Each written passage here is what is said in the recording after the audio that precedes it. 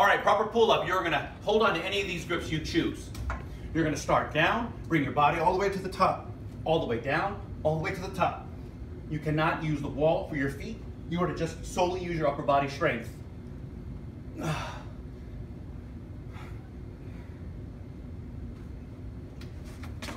right, go ahead. There it is. Go down and go up. Pull it up, pull it up. Go down.